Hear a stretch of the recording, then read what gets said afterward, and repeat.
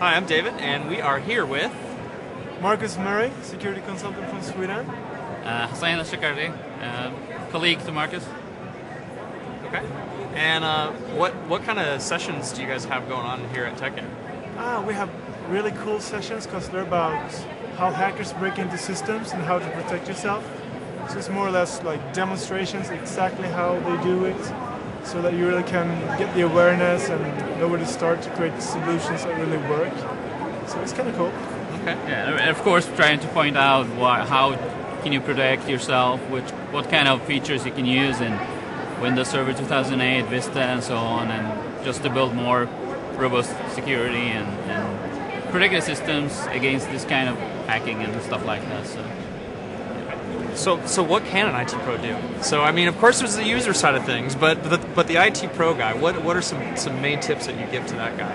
I mean, it's, it's a really hard question because we do a lot of penetration testing. That's a big thing what we do at work every day. So we go to different companies, we try to break into their systems, and eventually try to like compromise the entire domain or IT infrastructure. And many of them are just so it's so bad out there. So they need to do like 10 steps that would be major projects. And you can't really sell that to them because it's, going to be politics, too much money. It's a time consuming thing that might run over five years. So we need to sell like, okay, let's talk about the first step. Break that into comprehensible projects. So it would be like a checklist of you need to start by getting new software, new operating systems like Windows Vista 2008 because they have the security functionality that works today. So that's like step number one. Start looking into that. Then start to take control of your environment. You need to be able to centrally manage your environment. If it like works, if it's in the wild, you can't control it. So start by getting control, uh, homogeneous environments, things like that when you have that in place, we can start to add security services on top of that, like role-based hardening, patch management that really works.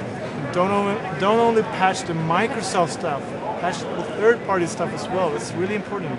And so we go step by step like that. And usually that's good. And Microsoft has a lot of good guides and stuff, but people don't use them that much. Yeah, I, I mean, it might sound that much, and it might sound, oh, how should I be able to fix that? It's so many things, and uh, just go to the download site, microsoft.com slash downloads, and just there are many step-by-step guides and uh, different kind of security guides and tools available just for the IT pro. Uh, there are many shows and recordings. I mean, all the things going here it's- are it's available online, so you just you can just do it on your own and, and achieve that uh, higher level of awareness and security. So, so how is Microsoft really doing with security? So, completely unbiased, unfiltered opinion. I know you're here at TechEd, and I, I know at Microsoft, but but really, like, where would you say we're, we're really strong, and where do you think you know we have areas for improvement? You don't suck anymore. Okay. That's a good thing. That's good. That's right. so it's getting increasingly better. The focus is right. It really is. But I still think as a as a consumer or IT pro, I think that you should you should really be able to demand a secure surfing experience. I think that's where a lot of bad things are happening today also. So there are some things. I, th- I think the browsing and the interaction with the internet should be better isolated, better. I mean, there's a lot of work to do there.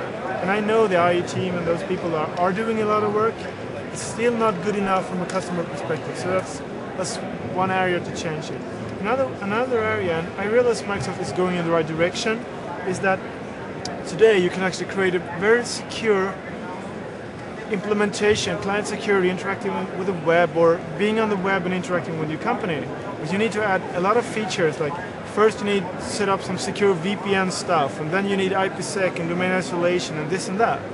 So even as an end user, first I need to, okay, I'm on this network now, now I need to do VPN, then I can do this and that. It should be like completely transparent. Shouldn't matter if I'm on the web or I'm on the on the internal network. So that's something Microsoft needs to work on. Like you should have like certificate-based mutual authentication, good encryption, end-to-end from the client wherever he is, so that he can authenticate to the domain controller or whatever.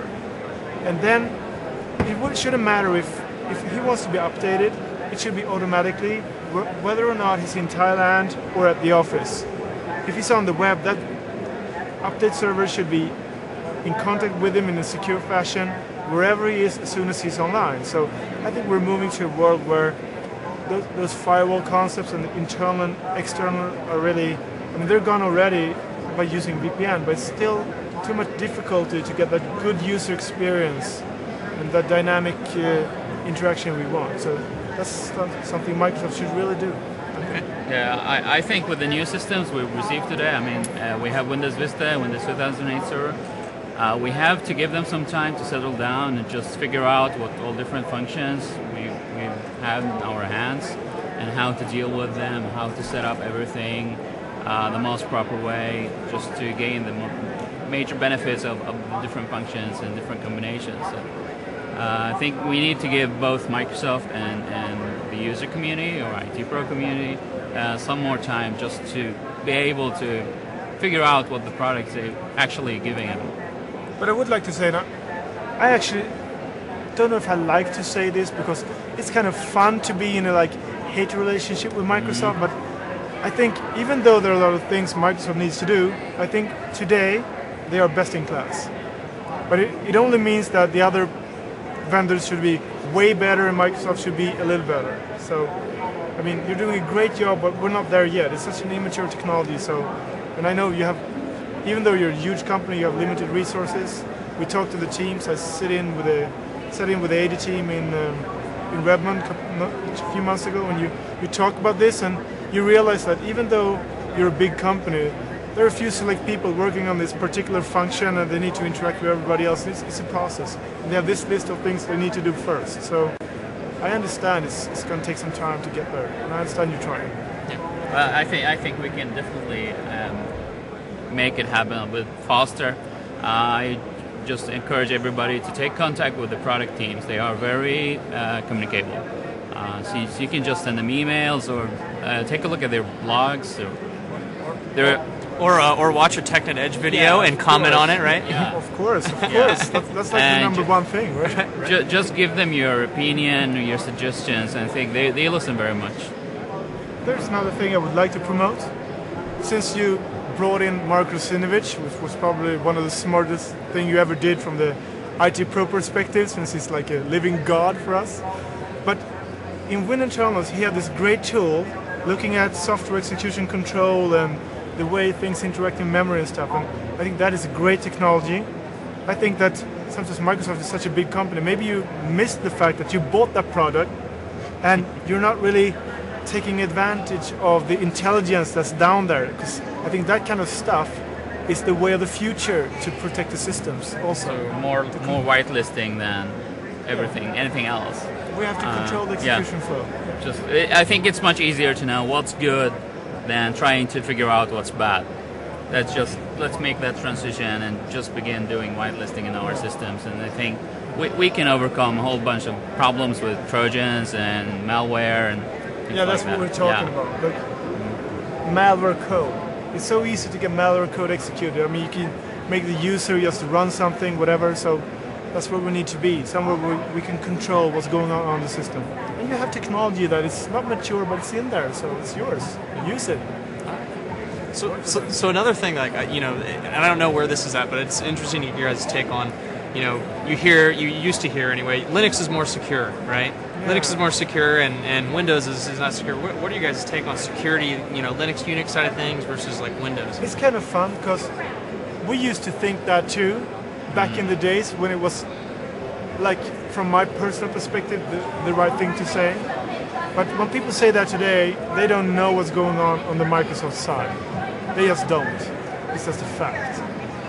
I mean I, I, if they want to say it it's okay but they don't get any respect unless they can really tell me what's going on there at microsoft what functions are in the systems. Because they are talking about you know things that happened 10 years ago or maybe more I, I just say take a look at any vulnerability database site or something like that, Security Focus or anything similar. I just compare the number of vulnerabilities published for different operating system. Uh, Microsoft is doing a very good job on, on, on those applications, pre-bundled with operating system and, and things. Uh, just look at